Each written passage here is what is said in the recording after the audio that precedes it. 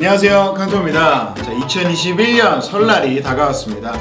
자 이번 설 연휴에는 아무래도 어딘가를 놀러 가시거나 이제 바깥에 이제 가시기가 좀 힘드실 텐데요. 자, 가족분들과 함께 맛있는 음식 드시고 또 이제 칸토 음악 브랜뉴 음악 들으시면서 행복한 설날을 보내시길 바라겠습니다. 그리고 여러분들 새해 다짐과 목표를 모두 세우셨겠죠? 이제 올해 무엇보다도 건강 제일 중요한 건강하시고 바라시는 것들 모두 다 이루는 알찬 한 해가 되시기를 진심으로 바라겠습니다. 자 그럼 지금까지 칸토였습니다. 여러분 새해 복 많이 받으세요